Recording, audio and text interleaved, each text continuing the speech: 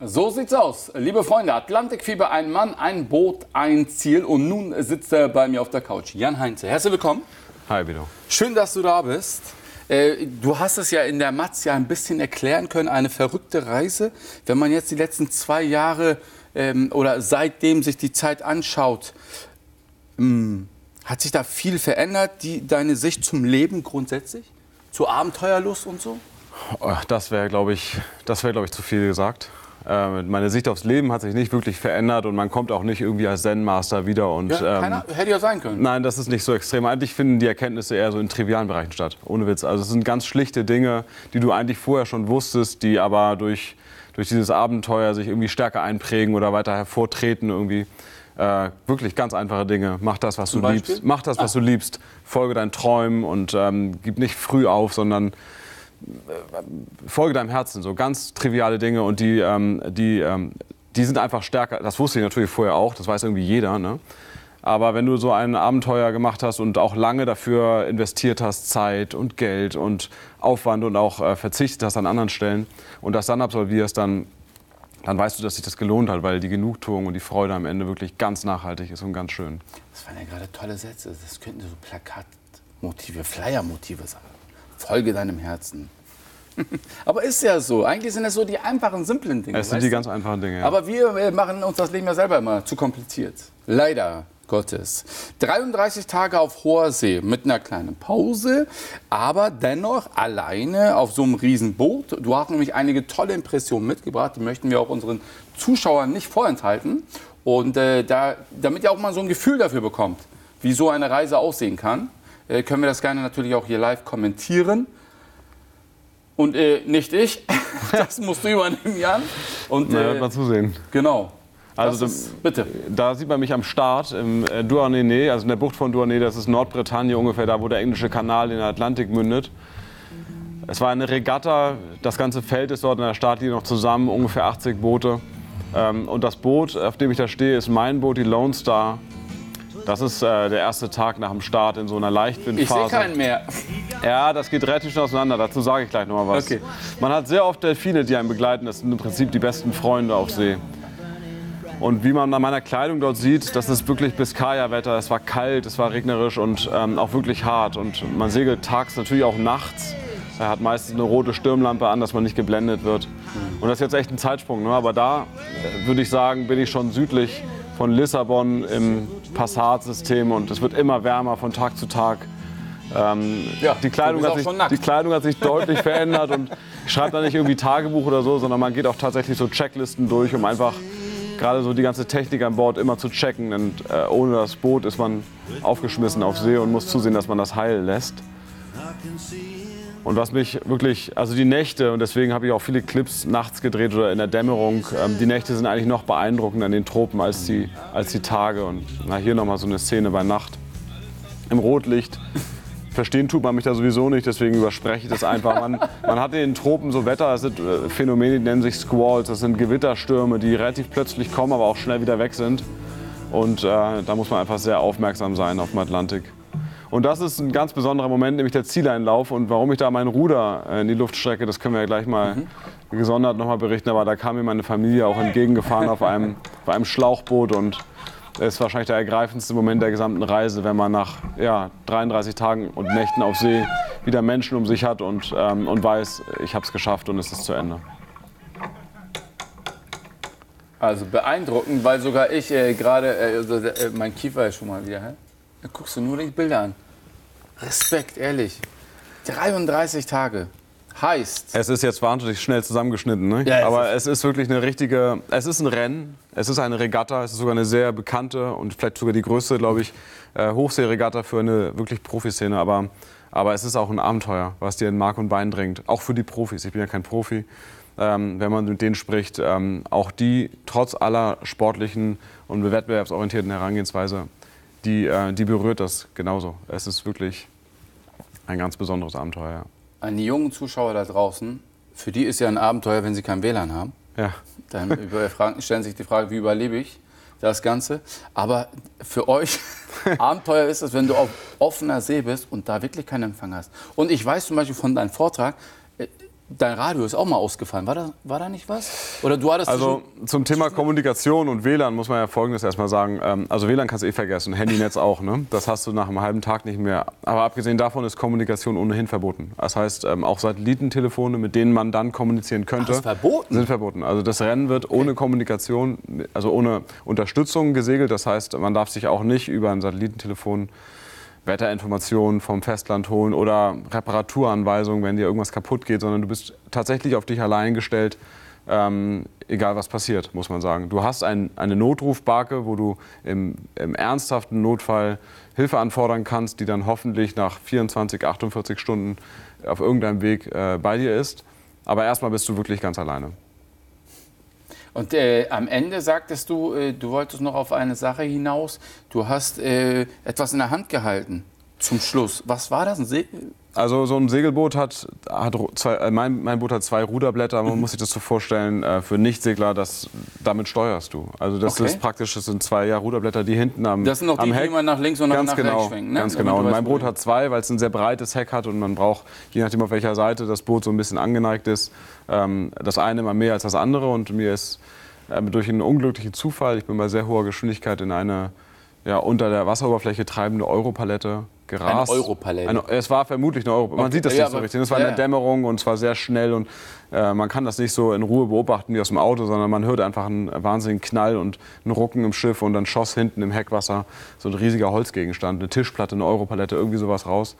Und das hat mich mein äh, Steuerbordruder gekostet und ich konnte es auch nicht reparieren, weil es wirklich schwer beschädigt war. Und ähm, das war Mitte Atlantik ungefähr und ich hatte noch 2000 Meilen vor mir und ähm, das hat das Rennen auf jeden Fall beendet. Ich konnte nicht mehr sehr schnell fahren und auch nicht mehr die Taktik, Strategie verfolgen, die ich mir zurechtgelegt hatte. Aber es hat das Abenteuer noch größer gemacht, muss man sagen. Ich bin das Rennen dann zu Ende gefahren oder das, das Stück zu Ende gesegelt, war dann noch 15 Tage eben mit diesem ziemlich stark beschädigten Schiff unterwegs. Und ähm, naja, einerseits war das eine Enttäuschung, weil ich äh, eine Regatta fahren wollte. Andererseits war es irgendwie auch ein ganz großer Gewinn, weil das, das Abenteuer ist noch größer gewesen. Und der Moment des Ankommens ähm, war einfach noch äh, intensiver, weil, weil du eigentlich damit, also die Integrität deines Bootes ist echt in Zweifel in Frage gestellt, wenn du so einen Schaden hattest. Und das geht nicht mehr aus deinem Kopf, bis du schließlich angekommen bist. Und wenn du es dann geschafft hast, bist du echt glücklich. Anders kann man das nicht sagen. Wie viele Tage schneller wärst du theoretisch gewesen? Ist schwer zu sagen. Also, was wäre normal? Was ist denn? Ich weiß nicht, wie viele ich- Tage hat sich das Ganze ich hab, verlängert? Das hat auf der zweiten Etappe ist mir das passiert. Ich habe für die zweite Etappe 22 Tage gebraucht und ich habe eigentlich mit 18 bis 19 Tagen gerechnet. So, also es waren so knapp über 10 Prozent, ähm, die mich das nachher gekostet hat. So what? Ja, Dann ist das so. wurscht. Ja. Hast du mehr Delfine gesehen? Habe ich mehr Delfine, mehr Sternschnuppen, mehr Eindrücke. Ja. Wenn man jetzt mal dieses Digitale weglässt und nicht darf, hat man einen ganz normalen, stinknormalen Kompass? Oder woran orientiert Na, du hast schon eigentlich? Navigationshilfen. Ne? Einen Kompass hast du auf jeden Fall, einen Magnetkompass. So, Du, die sind klassisch mit Magnet und so. Ja, den hältst du nicht in der Hand, der ist verbaut, ne, aber du hast einen, So Magnet, das du hast einen. Magnetkompass in der Tat und, äh, und du hast GPS. Das heißt, du hast äh, Navigation über, über GPS-Systeme. Mhm. Ähm, das gibt dir immer einen ganz sicheren Standort.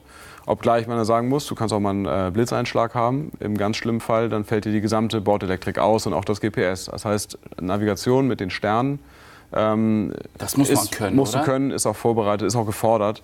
Macht man mit Sextanten ne, und ähm, schießt die Sonne, sagt man. Also man misst äh, den Winkel der Sonne zum Horizont zu bestimmten Zeiten, um daraus ähm, mit ein bisschen Mathematik seinen Standort berechnen zu können. Und damit kannst du dich dann sozusagen wieder an Land navigieren.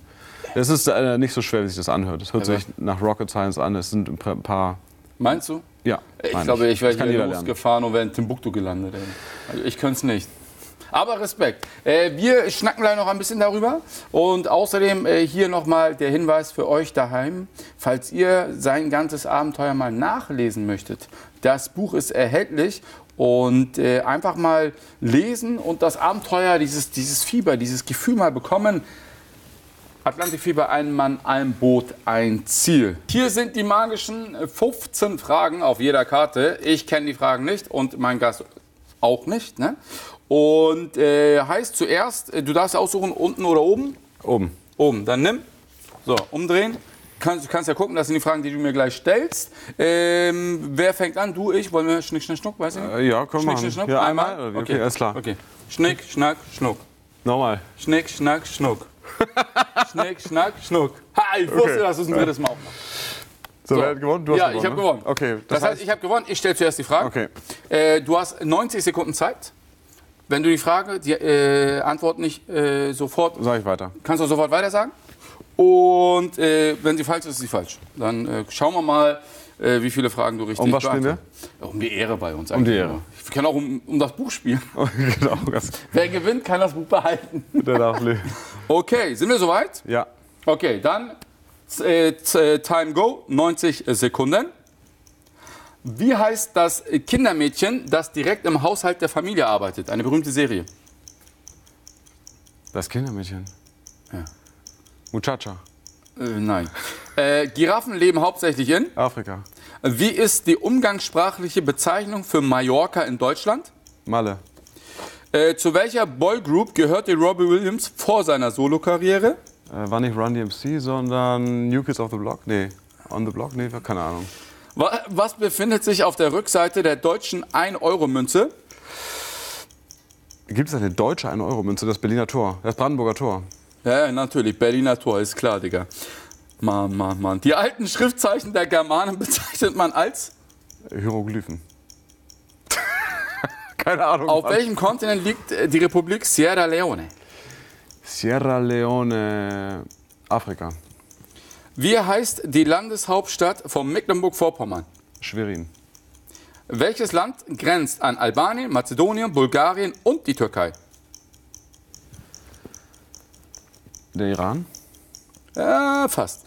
Äh, Wann ist der Nationalfeiertag in den USA? 4. Juli.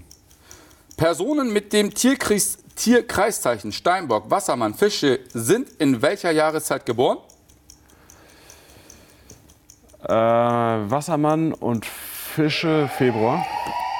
Jahreszeit, Winter. Früh, äh, Winter. Okay, pass auf. Ganz kurzer Hinweis. Diese berühmte RTL-Serie heißt Die Nanny. Ja, kenn ich nicht. Achso, kennst du gar nicht? Okay. Nee, ich guck kein Fernsehen. Boy Group war Take That. Richtig. Richtig, ne? Äh, Euro-Münze, Bundesadler. Ja, okay, keine Ahnung. Macht ja nichts. Schriftzeichen. Ja, Die Runen. Oder, du, ich höre das auch zum ersten Mal. Ja. Hätte ich auch nicht gewusst. Ja. Aber ich hätte nicht Hieroglyphen gesagt. Nee. Aber irgendwas Okay. musst du ja sagen, ne? Achso, genau. Und welches Land grenzt an Albanien, Mazedonien, Bulgarien und die Türkei? Du hast gesagt? Ich hatte Iran gesagt. Richtig. Ich, ne? Knapp daneben Griechenland. Griechenland. Haben wir noch was? Und Winter. Was gab es denn noch hier für Fragen? Ein anderer Begriff für audiovisuelle Medien? Fernsehen? Welche Modeunternehmen vermarktet die Damenkollektion Miu Miu? Uh, das hätte ich auch nicht gewusst. Prada. Prada. Okay, gut. Quadratwurzel von 100 ist? Ja, komm, hör auf, du, ich bin jetzt dran zu fragen. Ich ärgere dich doch. Ja, nee, ich, ich will nur die Regeln anhalten, ne? Oh. Hier, bitte schön die Karte. Also soll, was soll ich anstreichen? ja, damit du Häkchen machst, dass Okay, ich auch die. alles wie viele, warte mal, wie viele hast du richtig? 1, 2, 3, 4, 5. Ich muss 5 toppen. Okay. Okay. ja, bis- Bist du soweit, Vito? ja, klar, Rock'n'Roll. Kann losgehen? Mhm. Und los. In welcher Stadt befindet sich das Deutsche Currywurstmuseum? Berlin? Korrekt. Wie oft dreht sich der Mond um sich selbst bei einer Erdumdrehung? Einmal. Nein. Welche Stadt wird auch die Rote Stadt genannt? Die rote Stadt Moskau? No. Welcher Planet wird vorrangig als Morgenstern bezeichnet? Uranus. Was hat man am nächsten Morgen, wenn man zu viel Alkohol getrunken Kater. hat? Richtig. Deine Person, die zum Beispiel bei Fußballspielen durch aggressives Verhalten auffällt, nennt man. Das ist übrigens nicht deine, sondern eine. Aber Eine, das, äh, äh, äh, äh, äh, keine Ahnung, weiter, weiter. doch, weißt du, die Typen, die im Stadion immer rumgrölen und. Ach, äh, Hooligan. Genau die. So. An wie vielen Staaten, aus wie vielen Staaten besteht die Europäische Union? 27? Fast. Welcher? 26 oder was? 28, echt? Richtig. Okay, Na, hast du voll. richtig, war richtig.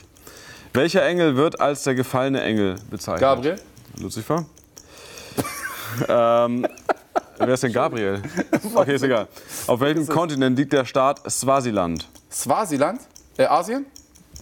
Afrika? Afrika. War, war knapp richtig, ne? Ja. In welcher Region, Religion ist der Schutz der Kuh bis in die heutige Zeit ein Indien? wichtiges Äh, Hindu, Hinduismus. Hinduismus, korrekt. Fidel Castro war fast 50 Jahre Staatsoberhaupt von Kuba. Wie viele Fragen waren das? Also, muss mal gucken. Also, es waren jetzt elf Fragen und du hast richtig die erste, die fünfte Hooligan war auch richtig. Afrika, Hinduismus. Fünf richtige. Echt? Nicht mehr? Wie viel habe ich denn richtig? Ach, du hast auch fünf richtige. Ja, du bist, alles klar, Mann. Ja, heute Sehr ist schön. Echt? Mann, waren das bekloppte Fragen heute. Ja, die waren schwieriger, ne? Ja. Die waren schwieriger als deine, fand ich auch. Berlin? Der Mond um äh, 14 Mal? Ja, das kann man, das hätte ich auch nicht gewusst. Das ist ja. Berlin, Kater, Hooligan, äh, geht's so nur zu. Wie komme ich denn überhaupt auf äh, Gabriel? Ich wollte Konstantin sagen. Ja, das war so wie mit Hieroglyphen, ne? so, wir sind durch, ne? Ah, ja, und äh, ja, das Schlimme ist ja, wenn solche Fragen gestellt werden, dann merkst du das, wie schlecht du bist. Ja, Also nee. Ja, aber das sind so lust, das sind halt Ja. so spannende Ja. Fragen. Ne? Die, die, die kann man mal gucken, dass man ein bisschen mehr lesen muss. Hätte ich dir jetzt fünf Fragen zum Segelturn Ich, gestellt? hätte ich wollte eigentlich eine Frage einschmeißen aus dem Buch. Ja, ich irgendwie. so. irgendwie so, was ist Backbord, was ist Steuerbord? Irgendwie so. Warte mal, Backboard, Steuerbord. Äh, äh, Backboard, also das eine, also geht es um links oder rechts, ne? Ja, in Fahrtrichtung, genau. Warte mal, Backboard, Steuer. Ich würde sagen, Backboard ist rechts, Steuerbord ist links. Nee, andersrum. Echt? Ja. Ja, verdammt. Ich weiß nur äh, Heck, weiß ich, weil das hinten ist. ja, genau. Und, das, und vorne ist Bug. Ganz genau.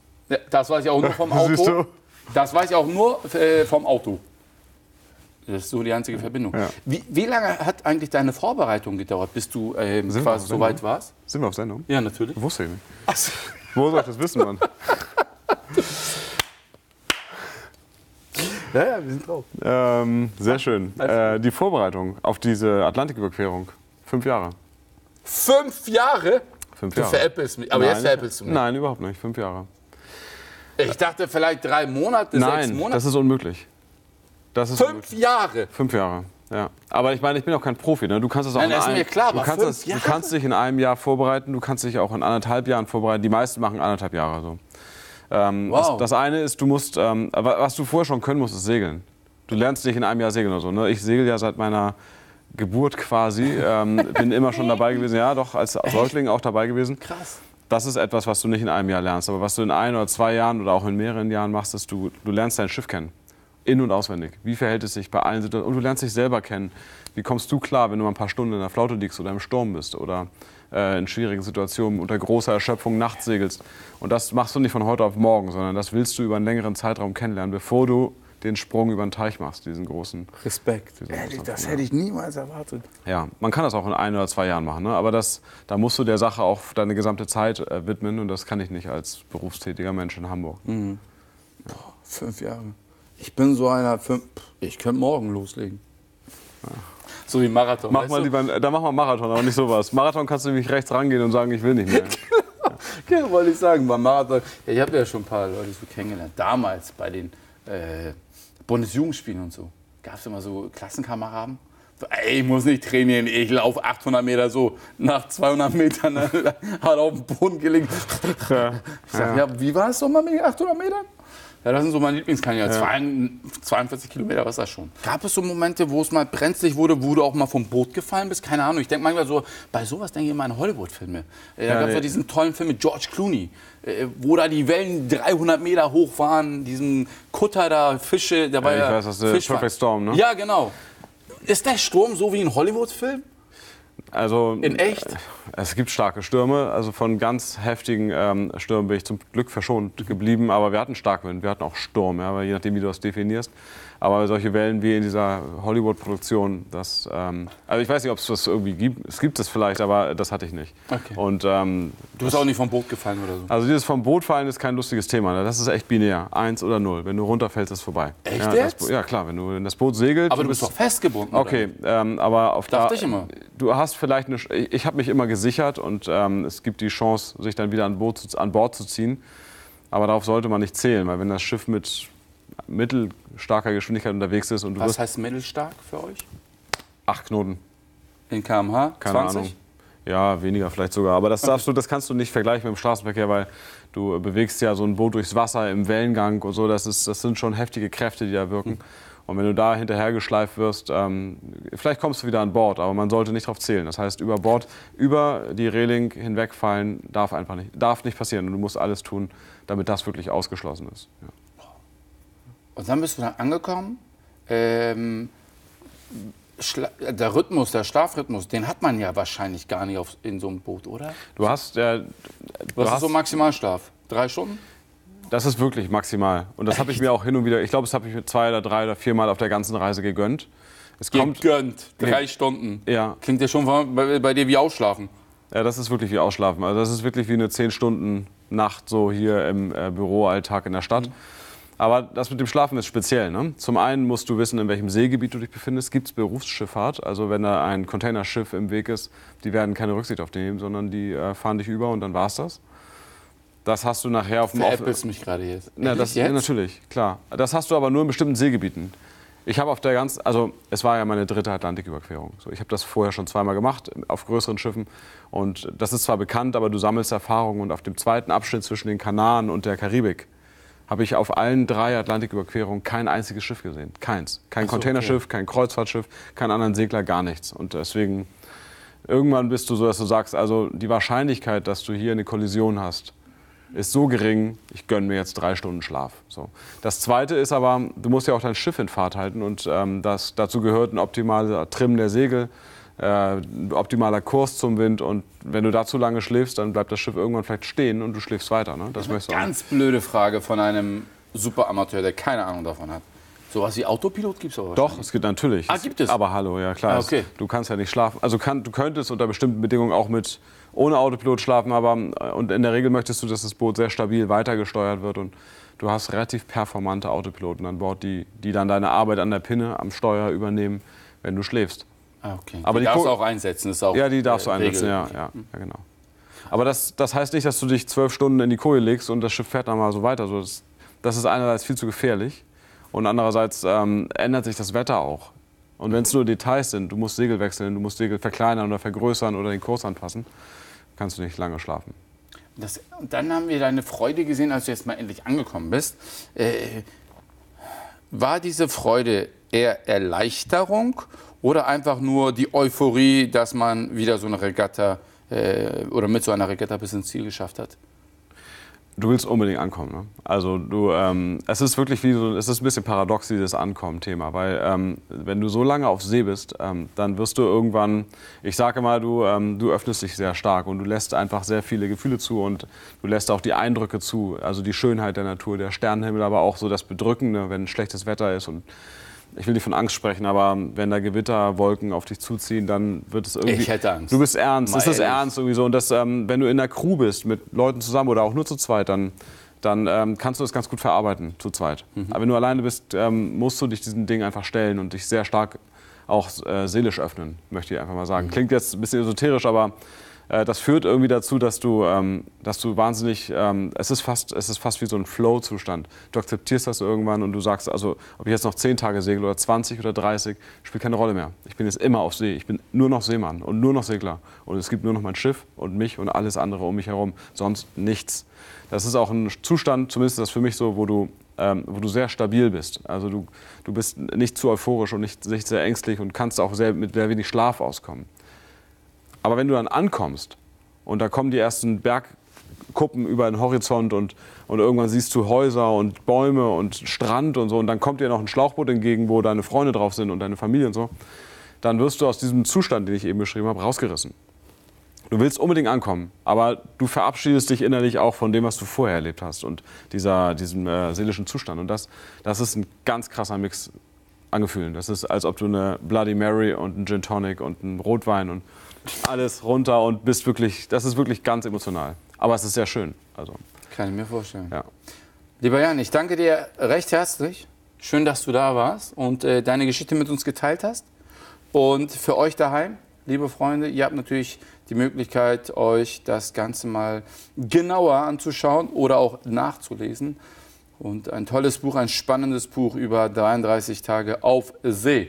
Also das Buch von Jan Heinze einfach mal äh, zu Gemüte ziehen. Atlantikfieber, ein Mann, ein Boot, ein Ziel. Bei Türken würde das Ding heißen Atlantikfieber, ein Mann, ein Döner, ein Ziel. Entschuldigung, da muss ich raus sein. Ich danke dir recht herzlich. Wann ist, äh, letzte Frage, wann ist die nächste Tour? Weiß ich noch nicht. Gut. Möglichst bald hoffentlich. Bald. Wir trinken fünf Gin Tonic, bin dabei. Alles In klar. diesem Sinne, Schönes Wochenende, liebe Freunde. Und äh, vielleicht noch mal zum Schluss äh, der kleine Hinweis und der Aufruf. Morgen Mittag nicht vergessen, ja? Zwischen 13 und 17 Uhr bei der DKMS-Aktion dabei sein. Wir suchen noch einen Knochenma Knochenmarkspender für Never. Im Kulturpalast im Bild steht. Bin ich auf jeden Fall dabei und ich hoffe, ihr auch. In diesem Sinne, schönes Wochenende. Tschüss. Diese Sendung wurde Ihnen präsentiert von Ortel Mobile. Ortel, wir sprechen deine Sprache.